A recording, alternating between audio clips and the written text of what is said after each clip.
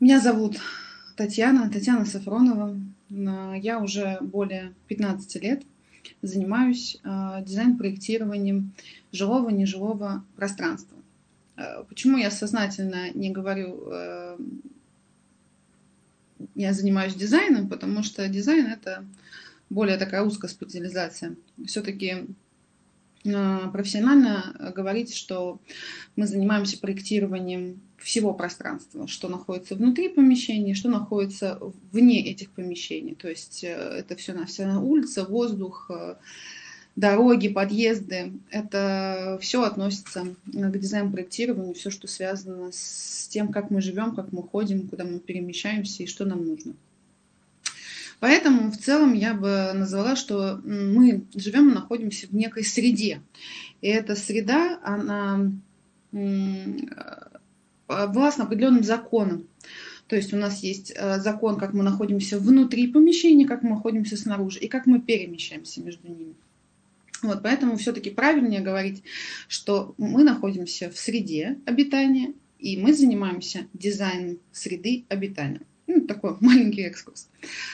А, судя по всем темам вебинаров, я так понимаю, что я не просто новичок, но еще и с какой-то такой творческой темой а, немножечко отличающийся от э, методологии обучения, которая более популярна на портале, но я благодарна очень э, представителям, что они мне позволили рассказать о моей теме, потому что я тоже считаю, что здесь присутствует такая вещь, как методология, присутствуют законы, и дизайн мышления это очень легко и просто. Я хочу, чтобы каждый человек э, смог с помощью методологии дизайна мышления преобразить свое жилье и сделать свою жизнь более функциональной а, и более приятной, скажем так, потому что все-таки проектирование среды это такой научный подход. И а, та среда, в которой мы живем, она должна быть максимально удобной для нас, чтобы мы не задумывались о том, что что-то нам мешает, что нам слишком мало квадратных метров, что у нас э, большой хлам, и вместо того, чтобы просто вечером приходить домой и наслаждаться своим домом, мы думаем, как бы нам разобрать очередные ящики или куда деть очередную вещь, которую мы приобрели очень сильно хотели. Вот, из этого всего мы сложили такую интересную тему с коллегами больную тему, я бы сказала, а как это большие возможности маленького дома. Почему я говорю о том, что это больная тема, что, к сожалению, мы в перестроечный период нашей жизни большинство из нас а, стали жить или получили в наследство так называемые малогабаритные квартиры хрущевки. А сейчас а, в современном мире девелоперы берут пятно застройки, и пытаются выжать из него по максимуму. То есть э, разрезать э, все это жилое помещение и пространство на маленькие квартирки студии, студии апартамента, и продается это все за достаточно приличные деньги, и как с этим жить, как в этом жить, есть ли смысл все это покупать. То есть мы, к сожалению, заложники э, некой такой моды сейчас, с одной стороны, и заложники той социально сложившейся социальных сложившихся обстоятельств, в которых мы родились в определенный момент. Вот, поэтому давайте перейдем к основным моментам.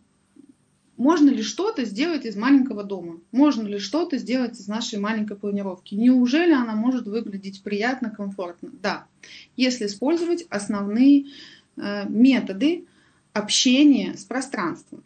Э, пространство, то есть каждый предмет, воздух вокруг этого предмета, я в этом пространстве, имеет смысл. А, помимо того, что это имеет смысл, это имеет свой еще жизненный процесс. То есть мы приходим к тому, что мы должны начать с анализа того, как мы живем. Я перелистаю о себе и перелистаю, если вы прочли уже что-то же такое, малогабаритная квартира.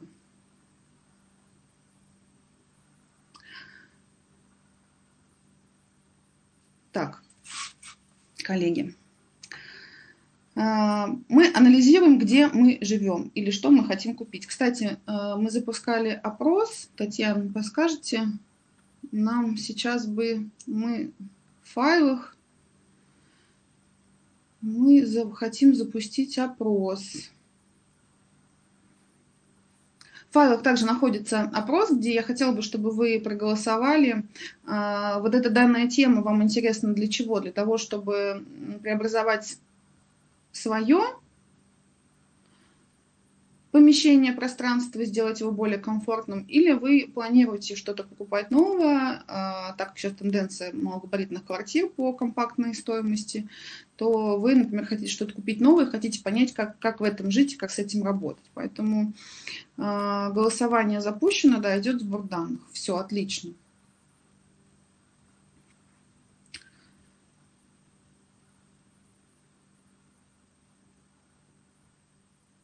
По возможности прошу вас ответить сейчас. Это очень важный вопрос, потому что тема, она ровно поделена на 50%, если наша аудитория а, планирует преобразить свое жилье, и половина на то, чтобы приобрести новое жилье и понять, как его правильно спланировать. Если мы сейчас поймем, что у нас а, больше слушают и смотрят те, кто хочет преобразить свое жилье, я просто сделаю на это больше акцент.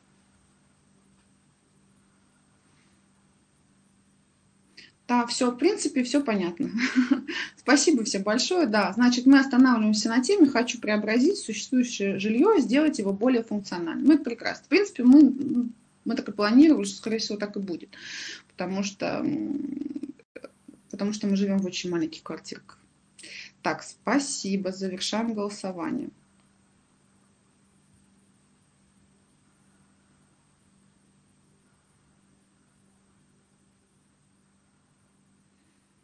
Так, нам надо вернуться к презентации. Угу.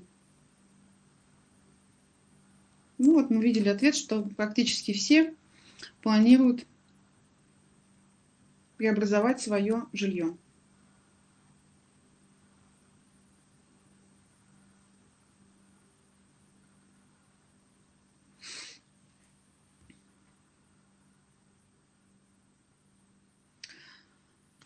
Вернемся тогда к тому, что же такое определение малогабаритных квартир или малогабаритных пространств. Это, как правило, э, начиная с советских времен, это примерно 30-35 квадратных метров, э, однокомнатная квартира с совмещенным санузлом. Сейчас это в разы меньше. Раньше это было э, примерно так. Плюс мы еще и всегда имели небольшую высоту потолков. То есть мы э, живем в небольших коробочках, которые закрыты по периметру э, малым объемом э, воздуха и э, с низкими потолками. Вот. Поэтому малогабаритное жилье – это самая актуальная тема. Поделим их на некие такие классификации, как э, квартира-студия. Это помещения сейчас самые модные популярные. Но мы все равно о них проговорим, хоть мы понимаем, что мы будем преобразовывать свое жилье, но мы все равно проговорим, что существует так называемые квартиры-студии более вытянутого формата прямоугольного, где-то от 20 до 20 квадратных, до 28 квадратных метров – имеющий один э, такой продолговатый проход и э, выход всего лишь на одно окно, к сожалению. То есть это такие э, нарезанные помещения в виде номеров гостиничных.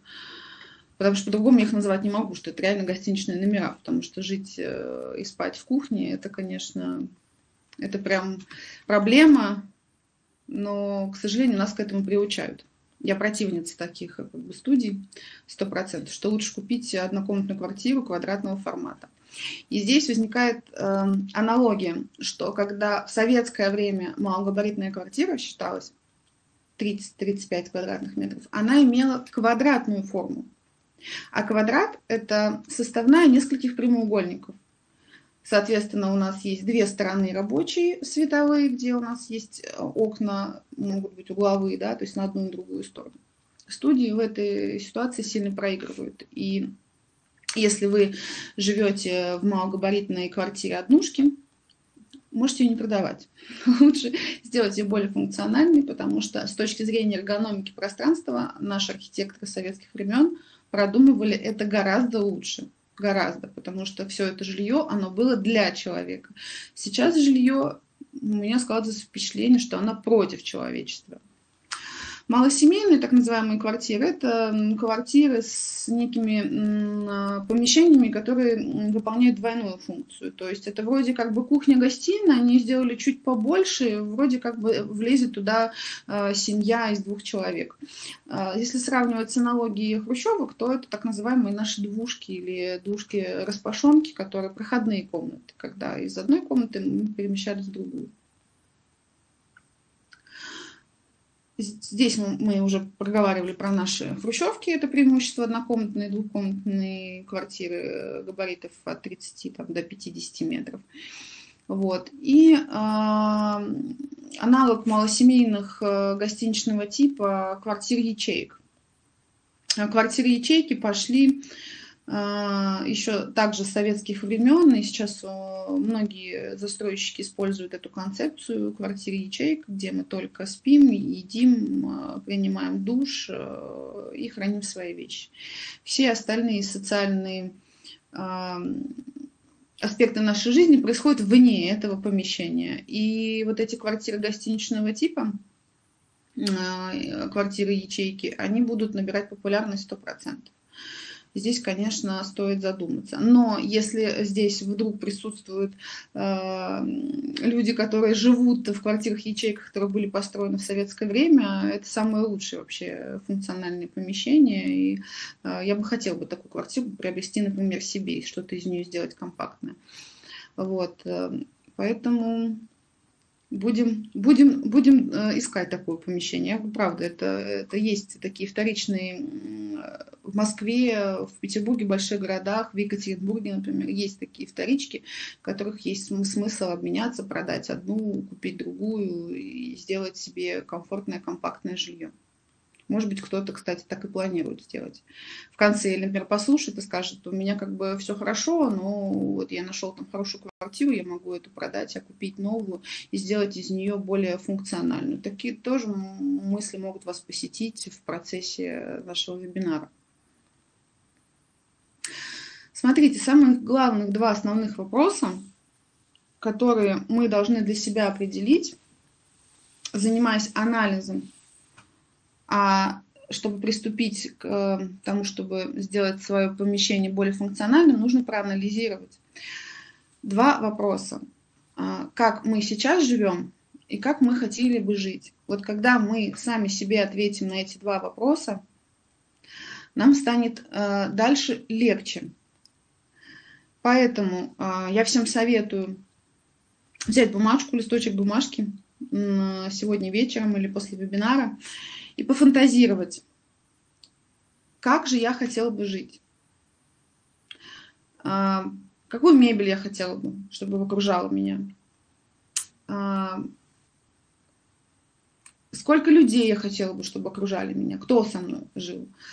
В какой стилистике я хотела бы жить, какое настроение я хочу каждое утро. То есть мы фантазируем полностью. Вот все, что в голову лезет, мы должны написать на листке бумаги.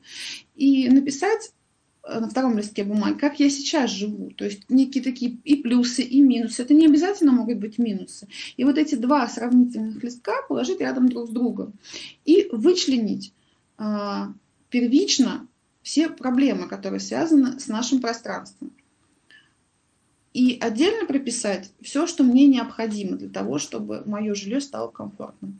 Вот это самое-самое начало, откуда мы начинаем анализ нашего жилья и последующих шагов, как преобразить наше жилье. Также я для вас разработала отдельно контрольную схему, а, на которая вам поможет э, правильно ответить на вопросы, как бы я хотела бы жить. Первая строчка в контрольной схеме – это определение, как мы живем в одиночестве, парами, семьями, компаньонами. Это та база, первый шаг. Дальше мы определяем по схеме. Мы живем вне дома, мы живем дома, мы работаем дома, или только пол семьи живет э, вне дома, а половина работает на дому, или все работают на дому. Также определите, пожалуйста, для себя, для э, дальнейшего формирования последующих шагов по этой схеме э, все, что вам необходимо. Э, следующей строчкой по контрольной схеме будет определение, сколько мы на отдых тратим, сколько мы тратим на прием пищи, сколько нам нужно для рабочего места, сколько нужно для хранения. Потому что это основные такие формы у каждого человека, они разные. Даже если два человека живут вместе, они могут жить в абсолютно другом ритме и с абсолютно э, другим количеством вещей, и с, э, в другом даже тайминге ночь-день. И самый важный момент, определите для себя, что вам важно, а что вам желательно. Это две такие фразы, прям вот критичные, потому что если есть очень важные для вас вещи, но вы их не реализовали в своем пространстве, вас это пространство все время будет угнетать, и вы будете хотеть э, от него избавиться или что-то переделать, переставить. Но если вы не ответили на важный вопрос для себя, а что для меня важно, перестановка стула или стола, она будет неэффективна. Вас опять будет что-то всегда не устраивать в своей квартире, в своем жиле, даже в своем гараже, даже в своем доме, даже в своем сарае, неважно. Мы рассматриваем любое маленькое помещение сейчас два вопроса. Важно и желательно. Вот если по этой контрольной схеме вы ответите себе на основные вопросы, э, вы перейдете на второй шаг формирования функциональности своего дома. Без этих вопросов двигаться нельзя. Ответы на эти вопросы мы не можем двигаться. Это мой как бы большой для вас совет. Следующим шагом для проектирования Э, это измерение своего пространства. Ну вот мы померили свое пространство. А где мне отобразить, как мне отобразить э, мой план? Ну, я же не буду чертить на бумаге, я вообще рисовать не умею. Я для вас э, выделила самый оптимальный, бесплатный портал, так называемый 5D планинг. А, это абсолютно бесплатный, абсолютно примитивный по функциям примитивная программа по функциям, где вы сможете выстроить стены по вашим размерам, поставить уже из готовой мебели диваны, столы, кровати, стулья, увидеть э, свое жилье, как оно есть, э, и посмотреть на его плюсы и минусы. Также вы можете все переставлять именно в программе. Я советую именно эту программу. Вы можете ее э, скачать э, с сайта, можете скачать ее в телефон, вы можете ехать в метро, баловаться, делать э, различные планировки или использовать готовые планировки. То есть это очень удобный интерфейс. Также у них есть видеоуроки, как э, правильно ставить стены. Э, ну, потратьте время, я вас очень прошу потратить на это время, потому что когда вы смотрите на свое жилье сверху и видите все маршруты передвижения, все узкие места и все проблемные места, вы по-другому на это взглянете. Поэтому я очень вам советую воспользоваться данным интерфейсом и прочертить вашу квартиру обязательно и взглянуть на нее по другим углом.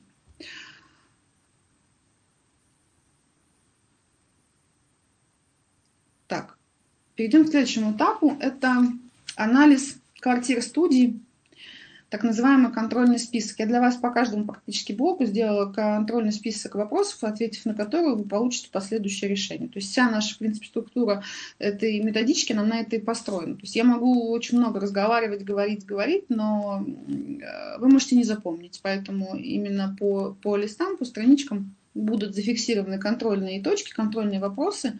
После того, как вы закончим наш вебинар, вы всегда вернетесь, э, прочтете и поймете, э, что мне нужно сделать, чтобы э, проработать свое жилье. Квартира студии, контрольный список. Сюда же мы можем отнести и квартиры хрущевки, и квартиры студии апартаменты. То есть это все, что касается до 30 квадратных метров.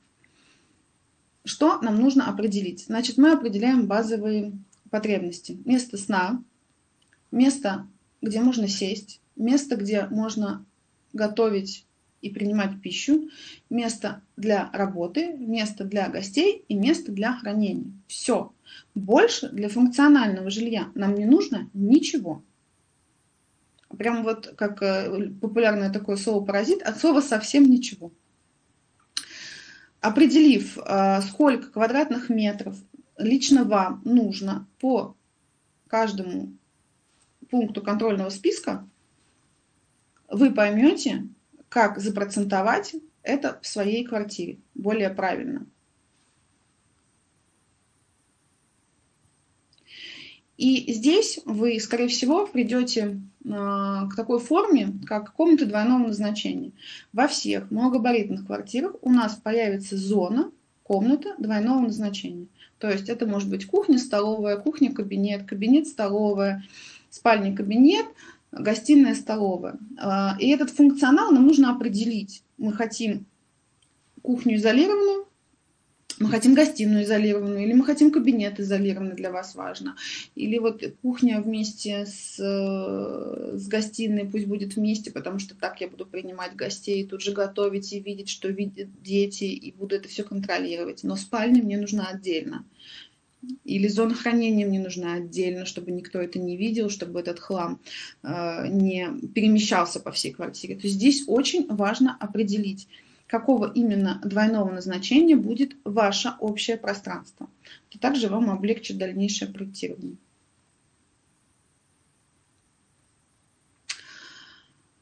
И здесь, после того, как вы определили функцию или не определили, потому что вы действительно не понимаете, как, например, двигаться, вы... Так, посмотрим, что у нас в чате. Ой, спасибо, да, большое, что для педагогов тоже очень это актуально. Спасибо за обратную связь большое. Изучаем интерьер помещения. Да, кстати, к образовательным, если здесь много педагогов, так как я сейчас занимаюсь технологией образовательных процессов и лично занимаюсь проектированием новых школ в Москве и Московской области, я тоже вам немножечко потом в конце останется время расскажу по этому поводу, по этому принципу. Так, о чем следует все-таки помнить, да, как правильно а, определять габариты, пропорции э, внутри своей маленькой квартиры. Значит, мы, что мы с первого делаем? Мы составляем список нашего важного и нужного для нас имущества, вот который сто процентов мы не можем от этого избавиться и не хотим от этого избавиться. Для нас это важно. Оно малогабаритное либо крупногабаритное может быть. А, мы должны это оборудование все примерно промерить, каких оно размеров, высоту, ширину, чтобы их правильно скомбинировать по модулям.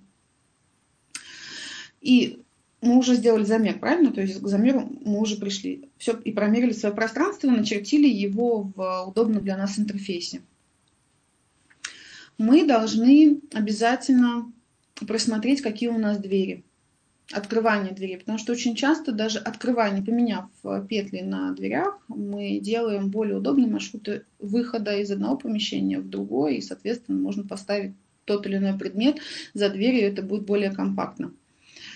Мы должны посмотреть э, всю нашу высоту, использовать максимально всю нашу высоту для того, чтобы обеспечить систему хранения. Обязательно мы обеспечиваем систему хранения запасом, потому что мы всегда что-то покупаем новое. Мы никогда не можем останавливаться на старом. И вот мы проанализировали э, все, что у нас накопилось. Мы проанализировали все свободные места в нашей квартире. Мы их промерили. Мы про... поменяли двери, э, и взглянули, вычистили, соответственно, наши какие-то там ненужные вещи, выкинули, расхламились. И после этого мы только можем формировать какие-то дополнительные перегородки. Вот на примере э, квартиры-студии, э, слева картинка, если можете посмотреть, показано э, дизайн мышления помещений и перегородок. К сожалению, большинство людей, нас, мы мыслим перегородками одна за другой, за другой вот эта вот геометрия, что одно помещение может быть более ломанным и визуально сломать вот этот прямоугольный ход, оно не всегда нам приходит в голову. Это уже как бы следующий шаг, когда мы проанализировали все закутки, как мы хотим это расставить. Здесь вот это вот мышление прямых ровных линий, оно у нас как бы внутри сидит, как в генетическом коде. И нужно иногда посмотреть на помещение с другой стороны. Поэтому если у кого-то кто-то живет в квартирах-студиях, да, это как пример а, распределения зональности. Ну вот за что, опять-таки, я не люблю квартиры-студии, за то, что это ощущение вагона. И мы мыслим как? Мы зашли в одно пространство, потом перешли во второе, потом в третье. Я называю это вагонный тип. То есть это длинный прямоугольник с поэтапными проходами.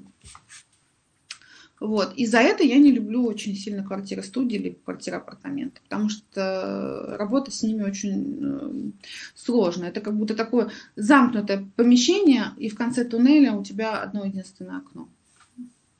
Ну, это реальность сейчас, к сожалению, такова. Вот. И, например, как один из примеров, э, как я хочу сломать вот эту квартиру-студию, как я хочу сделать какую-то оптическую иллюзию дополнительно. Вот это я вам привела пример на дополнительном листе, что в квартире-студии можно сделать спальню, спальное место, полноценное спальное место, чтобы наша спина всегда отдыхала, потому что мы все-таки достигаем определенного возраста, где мы понимаем, что у нас наш позвоночник, наш образ жизни, наш сон – это самое важное. Вот что у нас – это еда, сон, комфорт, тепло один из классных и самых оптимальных вариантов по переустройству э, квартир студий прямоугольного типа, вагонного типа, как я это называю, я вам привела на отдельном листе. Я это считаю самым прекрасным планировочным решением, где мы можем выделить отдельно проходную кухню, потому что кухня в квартирах-студиях является небольшим, несет небольшую функцию подогрева либо разогрева еды. Вот, у нас образуется полноценная зона гостиная, и у нас образуется полноценное спальное место. При этом, при всем, мы не используем апартаменты с высокими потолками и не уходим на второй этаж. Мы используем только высоту там, 2,70, которая нам изначально дана.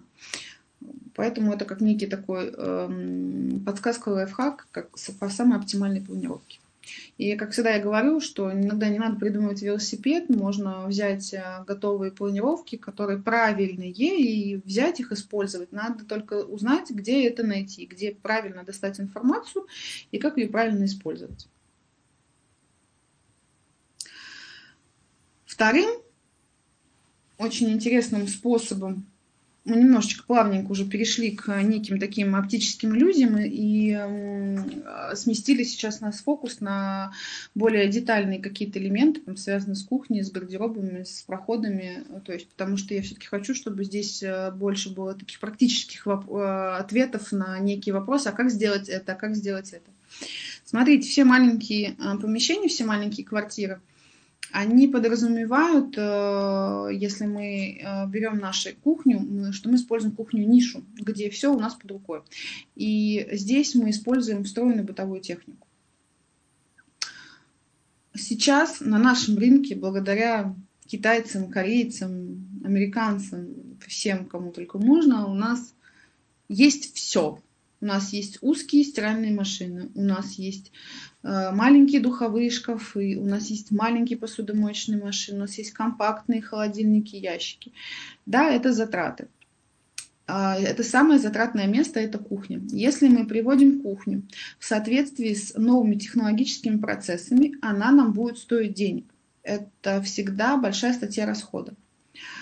И лучше это сделать и купить, спрятать и сделать функциональным, можно это делать не с первого раза, можно запланировать и потихонечку в течение года купить, поставить, встроить, заменить. Главное нарисовать и расписать для себя концепцию, как моя маленькая кухня может выглядеть и что мне поможет э, убрать весь, весь хлам, что мне поможет поставить даже посудомоечную машину. Кстати, тенденция, вот обратите внимание на второй картинке, сверху раковина, снизу посудомоечная машина. Да, действительно, существуют сейчас невысокие, маленькие встроенные посудомоечные машины на небольшое количество тарелок, которые облегчают нам жизнь. И также сейчас на рынке у нас появилось, э, появились духовки и газовые, и электрические, шириной 45 сантиметров, узкие, ну, буквально одну противень. И по высоте у нас есть также по ширине 60 сантиметров и по высоте 48 сантиметров духовые шкафы. Поэтому, если вы, у вас есть свободное время, а, сходите в самый большой МВидео, в самом зайдите, посмотрите все новинки, пощупайте руками, попросите продавцов рассказать, потому что если э, вы обновите э, технику, у вас высвободится очень много дополнительного пространства в кухне. Это касается и э, малогабаритных квартир, таких как студия апартаменты, так и хрущевки. И даже если у вас большая квартира, я думаю, лишнее рабочее пространство для того, чтобы что-то приготовить, поставить даже красивую вазу, вам пригодится, чем мы их захламляем большой габаритной техникой.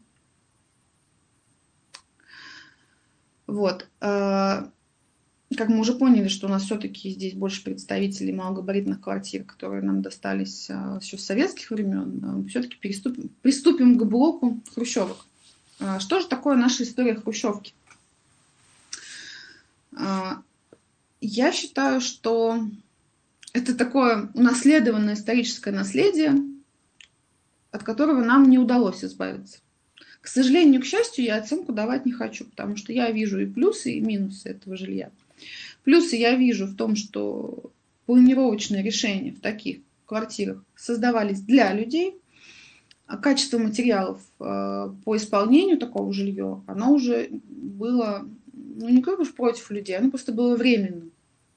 И сейчас, благодаря э, Собянину программе реновации, с которой я также работаю, я считаю, это уникальнейшая программа, которая позволяет э, каждому человеку получить новое жилье. И все дома, которые сейчас идут под реновацию, я прям советую людям не бояться, потому что, например, там моя компания проектная, в которой я работаю, мы также занимаемся проектированием домов по реновации. Это действительно новые современные дома, с большим пространством, с хорошими коммуникациями, построенные для людей.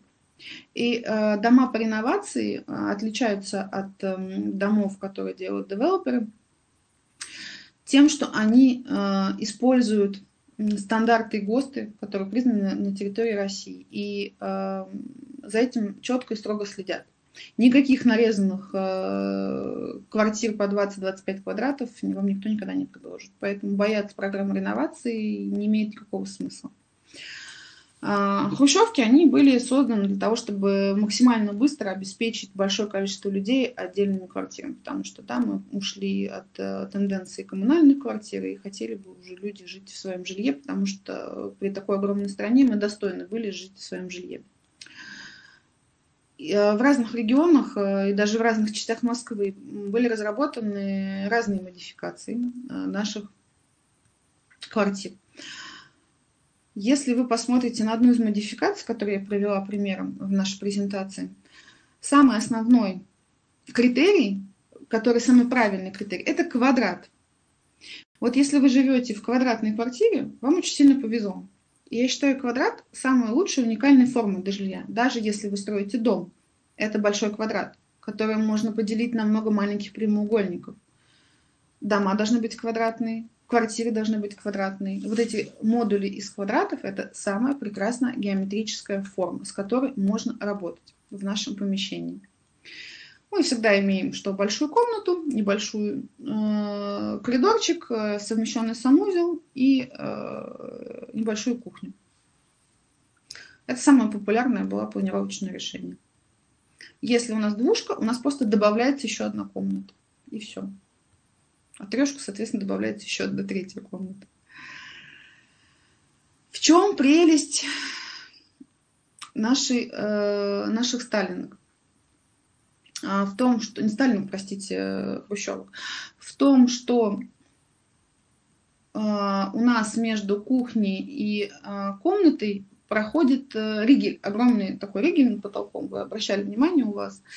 И мы можем стенку, которая между кухней и нашей спальней, можем ее трансформировать. Надо смотреть по несущей способности, потому что там целиком ее сносить нельзя. Частично с инженерами можно посмотреть, если она не несущая, ее частично можно снести, а если мы частично сносим, мы можем ее также частично укрепить. Это уже такие особенности э, инженеров, но каждая управляющая компания сейчас имеет своего специалиста в штате, которого можно пригласить, и все это узаконить до момента, э, например, производства того же самого прохода, чтобы мама хочет сделать проход более свободным. Причем я не удивлюсь, если э, вы мне сейчас скажете, что, что а мы уже так сделали. Ну, мы уже так живем, мы уже объединили кухню, объединили нашу гостиную. Вот. Самым классным и самым э, правильным э, вариантом оптической иллюзии работы с помещениями малогабаритных квартир, такие как Хрущевка, это использование такой схемы. Мы берем темный пол на 2-3 тона темнее, чем стены, и делаем светлые стены с потолком. И самый э, классный лайфхак – это мы, мы не используем стенку и потолок, мы не используем потолочный плинтус. Мы делаем эффект перехода стены в потолок. Таким образом, мы нашу высоту 2,60 мы ее вытягиваем и освобождаем. Пол остается более устойчивый. Пол это всегда низ, это всегда психология идти по земле, по более устойчивому помещению. Когда вы используете светлый пол и темные стены, вы делаете некий перевертыш. Поэтому пол всегда должен быть более темным. Пространство должно быть более светлым. А, лучше, конечно, использовать прям такой полутон легкий. Но чуть подальше я поговорю с вами и о контрастных решениях, почему их также можно использовать Здесь мы уже можем фантазировать на тему нашей кухни более широко, чем в студиях. Я вам сразу скажу, что я максимальная противница в сталинках использовать верхний ярус кухни. Я максимально всегда использую только низ с различными функционалами, потому что они у нас настолько маленькие, 4-5 квадратов, что когда мы еще захламляем верхнюю часть кухни, верхний ярус, у нас остается мало света, и помещение становится как будто таким грузным, давящим на тебя. Поэтому один из моих э, советов именно использование э, данной схемы оптической иллюзии для нашего решения малогабаритных квартир именно в кухне. Я советую обязательно это использовать. И квартиру во время ремонта делать без плинтуса, чтобы э, стена перешла в потолок. Это очень такой классный эффект э, поднятия высоты. Также, как я вам говорила, вторым э, хорошей оптической иллюзией и правильной это будет э, объединение кухни и объединение гостиной. Здесь единственный момент, на который вы попадаете, это если у вас газ, то необходимо будет делать э, прозрачную перегородку. То есть у меня уже был такой опыт, когда мы э, вынуждены были поставить такую прозрачную перегородку. Она нам вышла совсем недорого, это было что-то в районе 25-30 тысяч рублей. Мы ее заказали на заводе.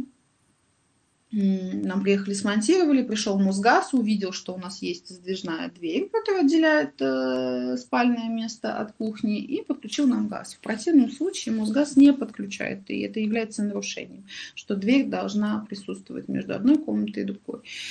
Поэтому здесь мы сделали нишу и сделали небольшую перегородочку, тоже как бы выход такой ситуации. Вот. И вторым таким хорошим э, советом моим не использовать текстиль в зоне кухни в малогабаритных квартирах. То есть подоконник, который мы используем для дополнительного пространства, он нам нужен обязательно. Кух... Если у вас есть ниша под подоконником, холодовая, мы тоже ее будем использовать и не все это не закрывать каким-то плотным огромным текстилем, потому что мы к нашему маленькому пространству добавляем естественный свет, и таким образом пространство начинает сиять. Поэтому смотрите, фиксируем э, такую оптическую иллюзию, как темный пол, светлые стены, переход стены потолка без плинтуса, отсутствие э, плотного текстиля, больше света в пространство. Все. То есть вот эту зону мы уже очертили. Она уже стала светлее и ярче. До этого мы с вами обсудили, что используя бытовую технику, современную бытовую технику, современные системы хранения, а, приглася, там, приглашайте специалиста по кухням, они вам все расчертят, сформируют, а, и стоимость э, замены кухни будет вам недорогая, потому что сейчас все фабрики мебельные, кухонные, э, сильно опустились по цене, потому что конкуренция большая. То есть, в принципе, в хороший бюджет вы можете заменить потихонечку кухню, заменить технику, э, сделать кухонно-гостиную зону более функциональной. Потому что если мы вернемся к теме помещений двойных назначений, то чаще всего мы придем к выводу, что нам нужна кухня, гостиная. А стол в гостиной, скорее всего, мы можем использовать как бы дополнительные занятия с ноутбуком, с книжкой или занятиями с ребенком. То есть мы чуть-чуть внедряем сюда работу, но в основном это будет кухня, гостиная. Следующий момент, который я хотела бы обсудить. А, после того, как мы очертили пространство, сделали его более просторным, сделали этому пространству засвет, мы должны его наполнить мебелью. К сожалению, мы обязаны будем выбирать маленькую мебель, малогабаритную мебель. Это самый важный момент. Это а, обратиться к модульной и маленькой малогабаритной мебели, к различным полочкам и вставочкам. А, использовать дополнительные рабочие а, зоны, такие как подоконники. А, и использовать все возможные ниши, все возможные закутки для дополнительных систем хранения. Здесь мы заложники, но это нам играет большой плюс. А, сейчас идет очень большая тенденция к некому такому советскому ретро, к маленьким столикам винтажным, к советским стульям отреставрированным, а, каким-то советским либо итальянским винтажным лампам. Это все очень легко находится на Авито. Я могу сказать, что я веду отдельно такую тему в своем телеграм-канале, а, как эм, подбор вся, всяких разных элементов. Поэтому, если вы подпишетесь на мой канал, там будет в конце ссылка нашего вебинара, то вы можете тоже всегда быть, э, видеть, что я выкладываю, что я подбираю, и, возможно, это вам пригодится. Поэтому наполняя свое помещение какой-то мебелью с историей, малогабаритной, какой-то интересной, цветной, яркой, вы даете как раз-таки некий такой стиль а, своему пространству. Поэтому поиск подобных элементов занимает время. Да, не получится так, что я пойду и куплю стол прошу прощения. А, да, его надо будет поискать. Да, надо будет поискать стул, который мне проходит. Надо будет его промерить по сантиметрам. Эту работу надо будет проводить, потому что без этого труда никак не получится. К сожалению, малогабаритная квартира – это труд вашей головы. Мы проанализировали пространство, замерили, и мы начинаем поиск последующий, то, чего нам нужно. Это вот самый важный момент. Промерили, проанализировали, начали искать. И нет ничего страшного, если у вас поиск пройдет полгода. Вы будете по чуть-чуть наполнять. Это эм, не будет бить по вашему бюджету. Самое главное, вы составьте список, некий такой карты желаний, да, там накидайте себе, мне нужен такой-то стул, и ищите. И я вас уверяю, что этот стул найдется. Вот сто процентов он найдется. Уже был опыт, когда мы даже искали определенные крючки, и мы их нашли. Нам нужны были определенные советские крючки. Мы их нашли. Мы пожили какое-то время без крючков, повесили, стало лучше. И вот этот вот кайф наполняет свое пространство теми вещами, которые вам нужны, вы потом будете любить свое пространство больше. Это как некая привязка и формирование новой любви к каждому уголочку вашей квартиры, потому что он будет преображаться, становиться более функциональным, более практичным и радовать вам глаз. Дальше. А, следующим лайфхаком для малогабаритных квартир, я тут немножко как бы бегаю, потому что просто времени мало, я могла бы на это больше говорить, я просто ну, как бы перебегаю более так плотно по этим темам. А, я называю этот термин светлота, э, залитая светом, такая небольшая технология. Я все-таки считаю самым основным, хорошим примером выводить стены в один светлый тон. Стены – это всего лишь подложка, это фон. Ну, как в галерее, да, вы же в галерею ходите, видите темный фон, красный, а на нем уже красиво играет какой-то предмет мебели, какая-то картина, скульптура. Также и у нас. А, наши стены в малогабаритных квартирах – это фон. Не надо тратить на них деньги. Не надо покупать какие-то дорогие обои, вензели. Вы практически все заставите и все ваши предметы на ярком пестром фоне, они провалятся, то есть они не будут иметь какое-то акцентное влияние на пространство. Поэтому мы используем всегда какой-то один тон, который переходит из коридора в гостиную, в кухню. Даже если у вас будет один цвет во всей квартире, это будет прекрасно. И цвет пола также. Вы берете один цвет пола, один пол и тянете его по всему помещению, и оно становится единым. Не дробите на маленькие кусочки. Если вы каждую комнатку раздробите на каждый цвет, на каждый элемент, вы получите разрушение пространства. Оно не будет иметь объединения. Поэтому объединяющим фактором является пол как пространство и стена. Все, мы их объединили светом, цветом, текстурой. Все, фон. Дальше мы начинаем творчество. Мы берем высоту, делаем высокие шкафчики, мы ставим красивый стол, ставим красивый диван. Мы используем модульную мебель, где у нас стол под стол может помещаться, стул под стул помещаться, стул на стул помещаться, где у нас могут быть откидные столики. То есть мы используем подобную мебель. И э, мы хотим, например, чтобы в одном месте у нас было какое-то там акцентное пятно, и мы взяли купили красивую картину, купили красивый торшер, поставили большой телевизор или даже э, видеоэкран. В одном из моих объектов мы э, не использовали телевизор, мы использовали экран э, в вечернее время, как в кинотеатре. Хотя это 34 квадратных метра, но в этом помещении можно смотреть фильмы, как в кинотеатре. Такая вот оптическая иллюзия. Вот, поэтому зафиксируем.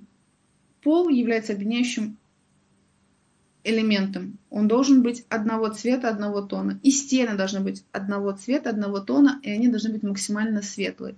Почему я пишу светлота, залитая светом? Потому что в малогабаритных квартирах лучше не использовать э, большой плотный текстиль.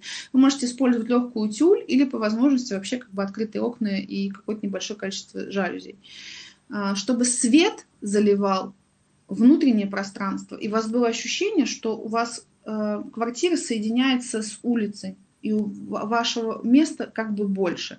Это такая э, иллюзия именно соединения со светом.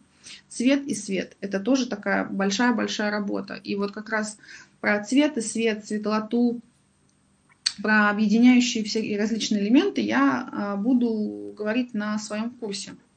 Вот, потому что этот вебинар, он как бы вводный вебинар по то, что мы запускаем большой курс по практическому дизайн-проектированию, то есть где я более детально, более подробно рассказываю о каждом элементе, о каждом лайфхаке, как с этим работать, как его применять, и мы делаем домашние работы, и э, по итогу мы берем ваше пространство и рассказываем методологию дизайн-мышления, и в конце вы имеете собственный проект, как улучшить свое жилье, и поэтапность, и полный бюджет. Поэтому если вам хотелось бы более подробно, более детально после этого вебинара поработать со мной, то я вас всех приглашаю на свой последующий курс. Татьяна потом его выложит, и он будет э, в анонсах э, в групп, во всех группах и на учебной площадке. Смотрите, еще одна оптическая иллюзия, на которую я обращаю всегда внимание, это э, вечерний сценарий. Мы имеем жилье, и мы имеем световой сценарий. Световой сценарий, что заключается? Это у нас вверху лампу зажгли, сбоку лампу зажгли, на, на кухне зажгли, и если мы все выключили, просто все залито светом. Так вот, когда у нас происходит день, у нас больше естественного освещения. Когда мы используем э, неестественный свет, да, это вечер. Так вот, здесь мы можем играть двойным сценарием, так называемым вечерний сценарий. То есть мы можем использовать естественное освещение природы. Я советую использовать естественное освещение природы. Потому что, например, вот у меня под окном светит огромный фонарь. Я использовала на окно жалюзи, закрываю их щелочкой. И в вечернее время, когда этот фонарь светит мне с балкона, у меня ощущение, что я где-то живу на Средиземноморье, и у меня такой красивый рисунок – наружных фонарей. Ну, я не могу же его отключить, он же для безопасности нужен. Я вот использовала этот фонарь, чтобы моя квартира заливалась таким вот э, светом. Также вы используете рассвет обязательно. То есть я люблю просыпаться на рассвете, и чтобы э, помещение полностью заливалось. Кто-то любит закрыть окна. Вот, поэтому подумайте, проанализируйте, что у нас за окном, как э, восходит солнце, во сколько заходит солнце, как это можно использовать, потому что это оптическая иллюзия, которая соединяет вас с природой, с окружающим пространством, и у вас нет ощущения, что вы живете в коробочке, в изолированной коробочке, и вы вот этот вот маленький-маленький человек в изолированной коробочке, и вас это угнетает. Это очень важно соединяться с своей маленькой квартиры с внешним пространством, потому что это психология восприятия э, себя внутри большого города. Город принадлежит вам тоже вам не только принадлежит маленькая квартира, вам принадлежит весь воздух, весь свет, весь город, все коммуникации. Все это также принадлежит вам. Используйте это, чтобы э, более комфортно жить в, в, в большом городе. Потому что когда я живу за городом, у меня есть большой дом, мне легче это воспринимать. А в маленькой квартире иногда сложнее это воспринимать. Так, у нас были какие-то вопросы. Так, скажите, пожалуйста, по поводу компромиссов я как раз-таки в конце вам этот вывод большой сделаю. А, следующим моментом для малогабаритной квартиры это использование встройки. То есть эм, современные производители корпусной мебели сделали все, чтобы нам было хорошо. Вот все, они огромные молодцы. Мы берем самый недорогой материал, это ЛДСП. Он достаточно недорогой. И мы можем использовать все возможные шкафчики, ящички, всю высоту, всю ширину, э, для того, чтобы систему хранения сформировать максимально только в коридоре и в холле, то есть в некой такой общественной зоне. Но она же скучная, правильно? Но мы все это поставили шкафами, и что нам делать? А вот здесь вступает в силу другая оптическая иллюзия. Вот эта вот площадь, которая сформировалась из шкафов, ее можно сакцентировать, ее можно выделить. Вот здесь мы можем поиграть цветом, цветом, текстурой. Вот здесь мы играем именно цветовыми палитрами. И самое важное, старайтесь не использовать ручек. То есть должна быть безручковая система. Э, так называемое тач нажатие, да, то есть мы нажали, петля откинулась. Это достаточно недорогой механизм, но он позволяет сделать эффект, что у меня стена. У меня не шкаф с ручками, а у меня стена. А если вы вашу стену покрасите вместе со шкафом в один цвет, то у вас будет стопроцентное сливание стены, так называемый монохром. И вот это пространство, оно не будет на вас давить. Вот. То есть здесь два варианта. Вы можете сакцентировать э, систему хранения в, в общественных зонах, а можете э, слить эту систему хранения вместе с вашим пространством. Так, ну, один из старых примеров, да, там деление плоскости по цветам и текстурам. То есть то, что я о чем я говорю, вы можете слить пространство и можете пространство сакцентировать цветом. И здесь мы опять возвращаемся к сценарию светом. А что я могу сделать светом? Также с помощью освещения, с помощью линий, элементов, крупных засветов вы можете подсветить весь периметр э, той или иной ниши. Свет, э, он лучше всего его заливать плоскостью. То есть мы берем плоскость потолка и заливаем свет вниз. Обязательно мы берем плоскость стены и заливаем, например, ее периметр. Таким образом мы э, берем нашу угол и немножко их отслаиваем.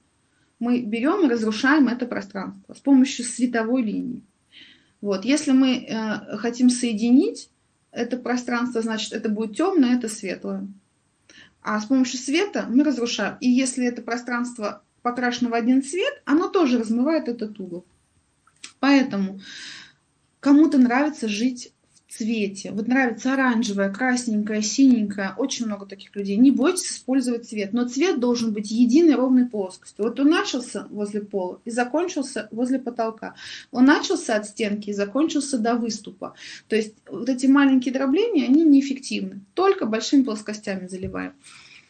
Либо используем цвет э, крупногабаритных предметов, мебели, э, которая именно встройка, которая принадлежит стенке, она как бы из стенки выходит, она должна быть такого же цвета, как и стена.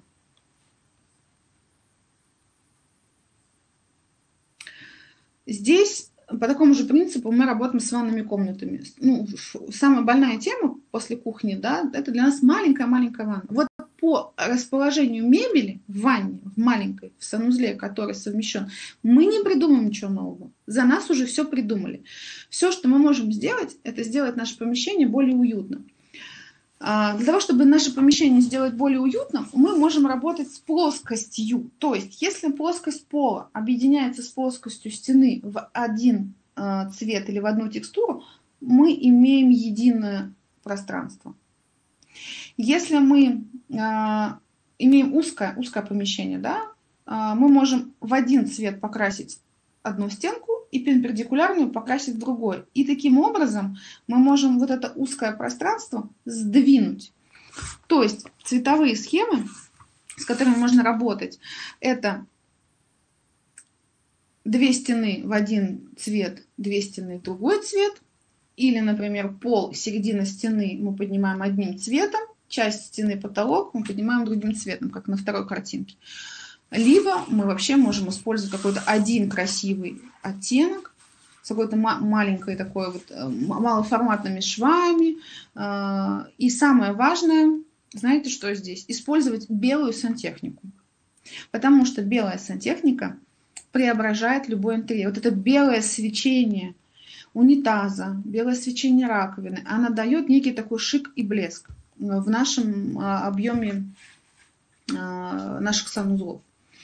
Вот. Не используйте рисунки, ни в коем случае, я вас умоляю. Вензеля, вставочки, какие-то бортики, не надо использовать, только плоскость. Вот эту я плоскость сделала серой, эту плоскость я сделала красной, а эту плоскость я сделала белой. В маленьких помещениях мы также мыслим плоскость от края до края. Только так. А, мы поговорили с вами о о том, что мы имеем, что мы имеем в основном в, в квартире, зоны кухни, гостиной, гостиной спальни, общественная зона, коридор, э, санузел. Да? То есть мы все это э, проговорили, как можно использовать цвет, свет, объем, пол. Да. А дальше возникает вопрос. А как правильно разместить этот стул? А как правильно разместить этот стол? А как должен быть шкаф? А какой толщины полки? Вот здесь есть такая наука эргономика. А, что за нас уже все придумали. То есть это наука, которая изучила человека который точно знает, что когда человек сидит, ему нужно еще 20 сантиметров для того, чтобы э, к нему, э, от него еще человек должен сидеть, чтобы ему было комфортно. Что размер стула должен быть там 40 сантиметров э, четко для попы, чтобы было комфортно. Что когда человек спит и ворочается, ему там на, если он, вы спите вдвоем на большом матрасе, то метр шестьдесят это то, что вам нужно, метр сорок вам будет мало. Э, что когда мы сидим, у нас э, расстояние до стола должно быть определенное, и высота стола должна быть 70 сантиметров определенная. Вся эта наука, она есть. Если вы э, в интернете вобьете эргономика, про эргономика, вам вылезут картинки, которые связаны с, со всеми расстояниями. И вы сможете самостоятельно посмотреть, там эргономика спальни, например, вы забили таком в поисковике, и э, все расстояния, какая должна быть тумбочка, какие размеры, вы можете посмотреть. Потому что есть базовые такие вещи, как э, то, что входная дверь э, в санузел должна быть 70 сантиметров, сейчас минимум просвет, а в советское время это было 60 и это, к сожалению, мало. Что 60 это чистый проход для одного человека. А дверь должна быть 70 и 80. А габарит входной двери должен быть метр для того, чтобы заносить правильно э, все внутрь квартиры. Что в советские времена это очень сильно все сужали. И если у вас есть возможность, а она, поверьте, есть, если вы вытащите старую вашу дверь, у вас будет вот такая толстая коробка дверная, вы поставите более новую полноценную дверь, у вас будет больше проход и вам будет легче э, входить в помещение. Вот, поэтому эргономика такая очень интересная наука, и на нее отдельно надо выделять большое время, но самые базовые вещи по эргономике спальни, кухни, гостиной и коридора все есть в доступе в интернете. Я примерно вам отобрала самые популярные запросы, которые также вы можете изучить э, в моей презентации. Самое интересное – это ванна. Ванна, душ, сколько надо места, когда я стою в душе, и сколько нужно ванн. Потому что есть люди, которые не любят лежать в ванне, есть люди, которые любят лежать в ванне. И вот здесь вопрос, а какую мне ванну купить? Метр шестьдесят, метр семьдесят, метр восемьдесят? Какую лучше? Так вот, какую лучше купить ванну, тоже отвечает эргономика. Весь э, вопрос надо спросить у себя, сколько я хочу времени проводить в ванне, как я хочу э, от нее, от этой ванны самой, от самой чаши ванны, какой получить позитив. Я там быстро помылся, принял душ, а мне достаточно там сидячий ванный душ и больше места выделить на стиральную машинку, либо я хочу действительно лежать, и для меня очень важно лежать, вытянув ноги целиком. Поэтому приходим опять к тому, что мы начали. Анализ. Сначала анализируем все свои желания, потом начинаем поиск что нам необходимо для этого. Следующий такой момент по эргономике, который я хочу также проговорить, я его зафиксировала в нашей презентации, это вопрос э, освещения зоны кухни. И самая большая ошибка – это у нас идет то, что между каждым предметом в кухне должно быть свое место. То есть раковина не может быть у стенки, должно быть место, раковина, место, Э, варочное место, холодильник, да, то есть это самый очень важный момент э, для эргономики. Вот. Базовые вещи по эргономике кухни также можно всегда найти схему в интернете. Но если вы обратитесь к специалисту в области кухонной мебели, они вам также это расскажут. Ну и, соответственно, за свет, да, то есть мы говорим о том, что свет всегда должен направляться вниз. Лучше не использовать лампы за свет вверх. Мы светим потолок. Зачем? То есть мы используем плафон и рассеивание света вниз. Это самый главный принцип. Также перед кухней, перед столом всегда мы используем свет перед собой, который распадается. Поэтому все наши советские лампы люстры, которые светят вверх, они неэффективны. Это вот прям можно сразу менять выкидывать 100%. Еще один наш блок «Эргономика», все мы за нас придумали, я вам привела некие такие примеры, ну, как у нас обычно бывает и как можно сделать. То есть а, мы обычно используем там стол, стул, э, систему хранения, мы берем стенку, формат от и до и заполняем а, всей модульной мебелью от э, сверху до низу и специалисты в области корпусной мебели также могут вам помочь. А вариант этот может быть достаточно недорогой, потому что представители по корпусной мебели э, в каждом большом магазине есть по разной цене. Вот. И также по поводу спальни э, очень часто сейчас стало использоваться так называемая и спальня-трансформер механизм, но он очень сложный, очень громоздкий, очень тяжелый. Если вам предложат э, спальню-трансформер, с мебелью. Это такая специфическая вещь, она очень дорогая. Все-таки можно просто использовать систему хранения справа, слева, сбоку, сверху, вокруг вашей кровати. Это будет небольшая глубина, там 45 сантиметров. Она не будет давить вам визуально, но при этом у вас вокруг э, по периметру стены, где примыкает изголовье кровати, у вас будет каждый сантиметр использоваться.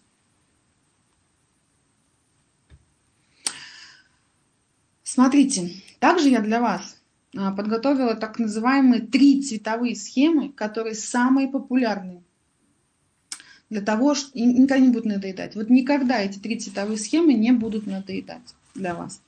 То есть, ну, мы же сделали наше пространство, да, но какое-то скучное у нас получилось. А, хочется добавить цвета. Так вот, цвет мы всегда добавляем в мебель, в подушки, в текстиль, какие-то элементы, аксессуары. То есть мы берем базовый цвет бежевый, светлый, песочный. И начинаем добавлять полутона. Можно работать в бежево-песочно-голубых оттенках, бежево-песочных с акцентами на черный цвет. И самый, на самом деле, популярный, который я считаю, третий тон, а, это бежево-песочный с травянисто-зелеными оттенками.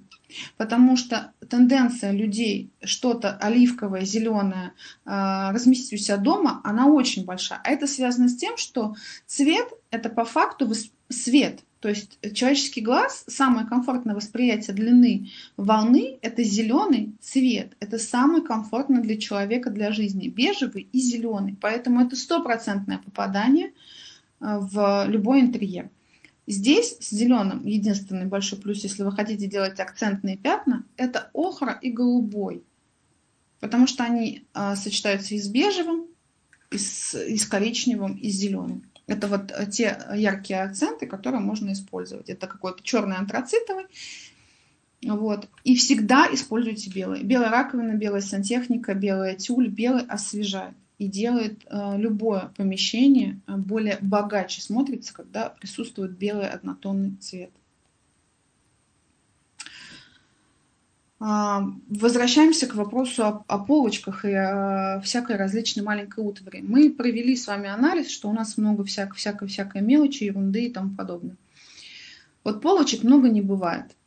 А, и а, изучив все закутки, изучив количество книг, которые у нас есть, картин, замерив все наши предметы, мы можем создать систему стеллажей и полок только под нас.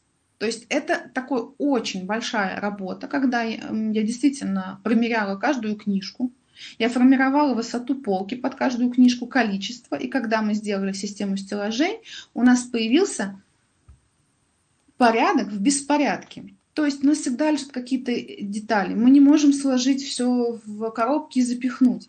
Мы хотим показать, увидеть, собрать что-то, какие-то Э, рассказать друзьям, да, о какой-то своей коллекции. Кстати, видите, как у меня жалюзи начали ложиться от освещения моей жалюзи, через свет э, легли на, на меня. Это к вопросу о том, как я, у меня солнце используется в, в кухне.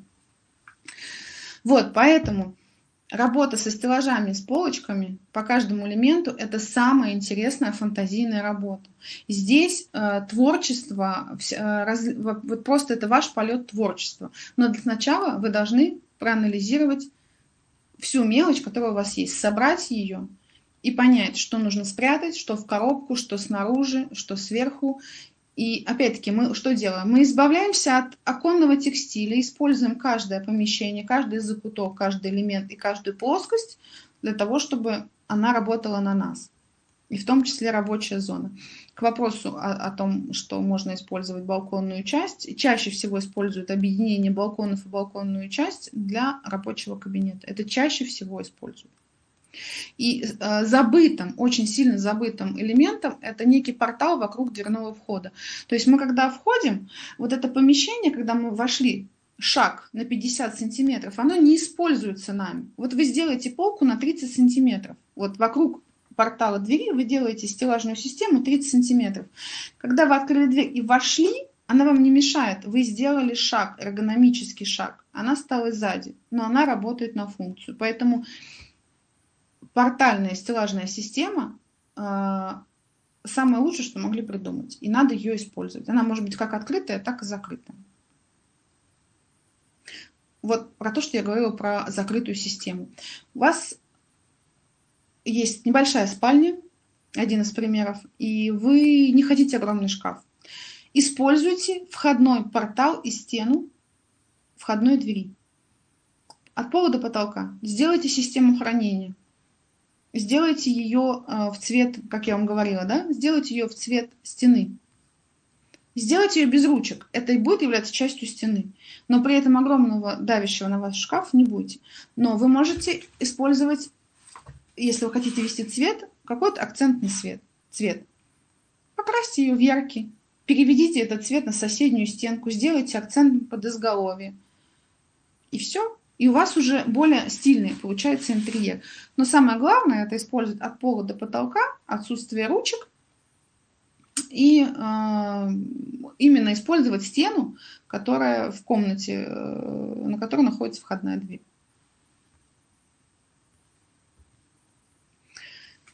Порядочный беспорядок я это называю.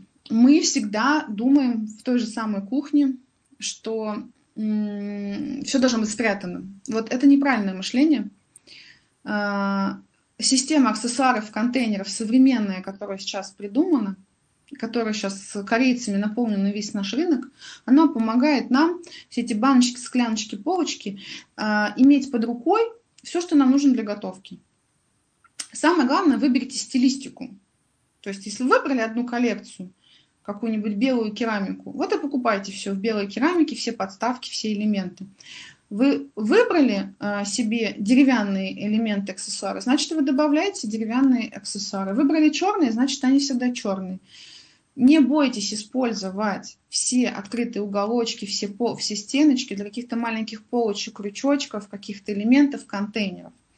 И отдельно идет направление, это кухонные, кухонные контейнеры для овощей, фруктов, для мусора, для бытовой химии. Э, также все эти типы контейнеров, э, все эти идеи существуют э, в том же самом маркете, да, то есть если вы на Яндекс Маркете наберете, да, там контейнеры для кухни, вам выдаст огромное количество того, что предлагает э, китайский, корейский рынок максимально функционального пространства. И все это по доступной цене. Здесь самое главное, также определите все, что, все, что вам нужно под рукой, все, что вы должны хотите пользоваться каждый день э, под рукой, и то, что вам нужно спрятать. Э, и сколько у вас этого всего. И вы в конце, когда сделаете весь этот анализ, э, вы проведете методику расхламления.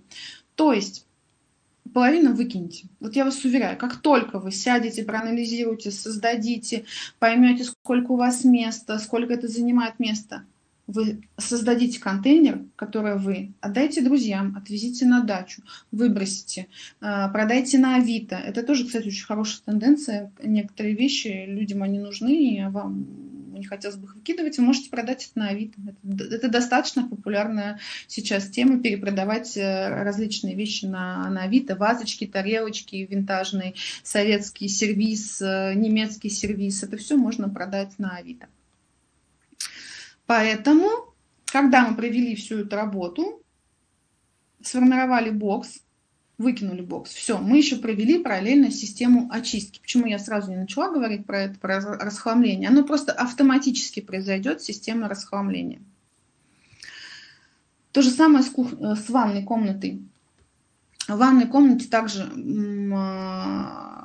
огромным количеством производителей аксессуаров было придуманы различные сеточки, полочки, крючочки и вазочки, э, которые можно использовать.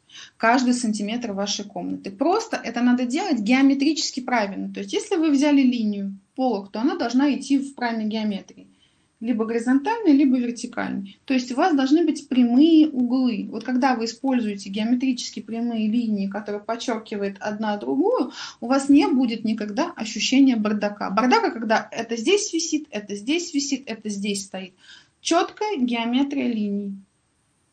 Каждая точка, каждая высота. Все. И цвет, коллекция. Обязательно выберите коллекцию. Также я очень часто в своем телеграм-канале скидываю ссылки на производителей, на коллекции, на какие-то удачные варианты, которые я нахожу, потому что я же занимаюсь подбором, да, там, для интерьера, для людей, э, предметов мебели, и я постоянно об этом пишу в своем телеграм-канале, который я веду. Так что подключайтесь. К вопросу о моем телеграм-канале.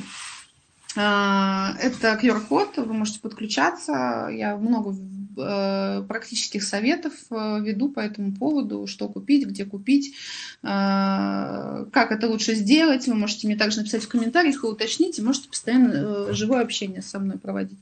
Так, смотрите, давайте я вернусь вот к этому вопросу по поводу компромисса. Компромисса нет. Есть первичная функция – Помещение служит нам. Не мы обслуживаем помещение, а помещение служит нам. Поэтому мы сначала узнаем, как я хочу жить вот в этом 30 квадратных метров, что я хочу знать, что я хочу видеть. И, и начинаем помещение выстраивать, чтобы оно служило нам по функции, по предметам, а, по красоте, по стилю.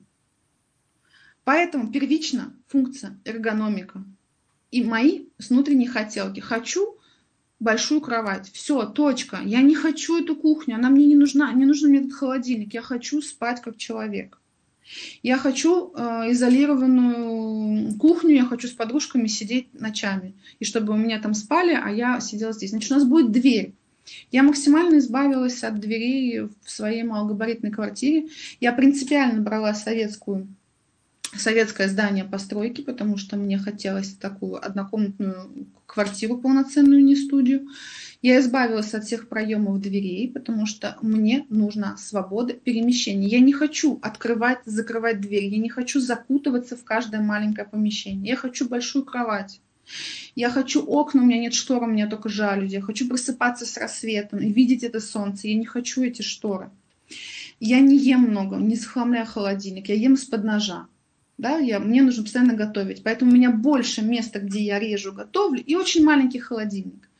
Я использую всего две комфорки, потому что я не готовлю на пяти комфорках. Мне не нужно столько места. Я хочу стоять в душе. Я хочу стоять в душе два часа, отмокать. Э, это очень там для меня, например, важно, да. Э, я сделала огромную систему хранения, потому что у меня много бардака. И я, кстати говоря, еще эм, с подружкой сняла офис, где мы э, часть вещей, которые, ну, вместо гаража, да, у кого-то есть гараж, это, кстати, практика съема кладовых и офисов с кем-то напополам. Это небольшая сумма денег, где-то это выходит в районе там 4000 в месяц но я использую это пространство как ячейку. В Москве, кстати, более популярная тема, как снимать ячейки, где лежит весь хлам, который мне не нужен. И он не мог не насереть, просто он мне не нужен. Я продаю вещи на Авито, которые мне не нужны. Я покупаю, реставрирую вещи, которые мне нужны. Мое пространство, оно э, живое, оно на меня живет, поэтому компромисса нет. А что так? А тут возникает вопрос: а стиль? Что такое стиль? А вот так называемый стиль, это называется эклектика, потому что первичная функция, Потом мы сделали светлые стены, мы наполнили какой-то винтажными элементами, а еще я купила вязаный плед, а я поставила яркий стул. Это называется эклектика, то есть это смешение разных стилей, смешение того, как я чувствую. Потому что э, я должна ощущать настроение в доме. Я должна чувство испытывать внутренне. Поэтому мы возвращаемся к самому первому элементу, как а как я хочу жить, а как я живу. Я живу как заложник, а хочу жить как свободный человек. Я хочу чувствовать, видеть, слышать, есть, ощущать, общаться.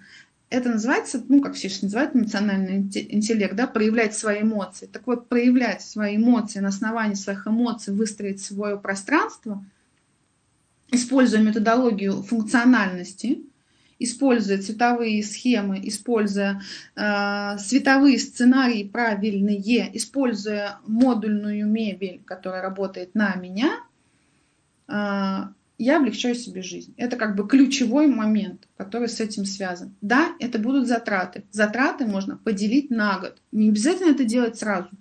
Можно расписать и каждый элемент по чуть-чуть делать докупать ежемесячно, распланировать бюджет, найти, поискать на скидки, на Авито. Да, это поиск. Но это такой кайф, вы себе даже не представляете. Когда ты приходишь домой, ты бежишь домой, потому что тебе хочется вот именно в свою, в свою квартиру. Это очень-очень важно. Вот. Поэтому это вот все, что я хотела сказать на этом э, вебинаре. Я надеюсь, вам понравилось. Э, просмотреть какие-то элементы записи, и моя презентация вам также пригодится.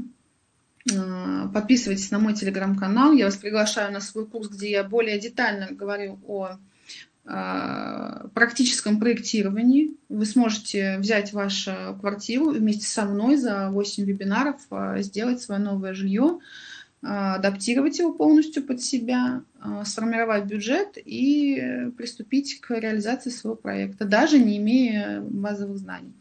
Вот. А по поводу школы технологических процессов э, я сейчас уделю пару минуточек. Э, сейчас основная тенденция э, всех технологических школьных процессов к стандартизации, как это было в советские времена. То есть стандартизация пребывания ребенка в школе. Зашли, разделись, учебный процесс, процесс отдыха, процесс питания, а, процесс мероприятий, процесс кружков, процесс каких-то лабораторных. То есть э, по факту сейчас первичен процесс. Что делает ребенок в школе? Что делает учитель в школе? Сколько ему нужно места в школе? Как он должен передвигаться? Максимально комфортно, максимально безопасно. У нас даже такой, знаете, момент из-за присутствия буллинга в школах. Нам запрещают делать э, тайные закутки углы. Прямые коридоры где каждый угол просматривается, потому что чтобы не было ни одного места, где можно зажать было ребенка и чем-то его угрожать. Даже эти процессы учитывают сейчас новые тенденции в проектировании. И э, я очень благодарна э, нашему государству и группе в лице наших главных архитекторов Москвы и Собянину в том числе, что технологические процессы в образовании сейчас работают на ребенка, на учителя, на педагога. То есть вы можете отдать с утра ребенка, забрать его вечером, и поверьте, ему там не будет скучно никогда. И те школы, которые сейчас пойдут под реконструкцию, это будет то же самое. Это не будет, что мы снеслись э, стенки, мы покрасили вам новые стенки, купили новую мебель, поменяли полы. Нет, э, будут сносить все, оставлять голый каркас, и формировать так, таким же образом помещение, пространство, что-то достраивать, что-то выравнивать, что-то ломать, чтобы э, та, та, та, то, тот каркас здания, который был построен в советское время, был полностью максимально использован по функции в школьных процессах. Поэтому это все начнется с Москвы, потихоньку пойдет на регионы. И я думаю, что в ближайшие 6 лет, как Владимир Владимирович Путин э, сказал, нашу шестилетку мы поднимем э, и нашу образовательную образовательные учреждения на очень высокий уровень, и это останется нашим детям на десятки-десятки лет. Это вот то, что я хотела сказать по образовательному процессу. Поэтому спасибо всем большое, мы немножко задержались, я тоже не умею коротко, не хочется совсем поделиться. Спасибо, что пришли, буду ждать вас, подписывайтесь на телеграм-канал и на нашем курсе. Татьяна, передаю слово вам, если нам есть что сказать. Благодарю вас. Так, тут еще чатик у нас обратную связь. Спасибо вам большое. Мотивируйте на изменения. Я очень рада. Я вообще такой человек-мотиватор. Люблю э, людей на что-то подталкивать. Да, благодарю, да, что все-таки информация была, была полезна. Очень приятно за ваши благодарные отзывы.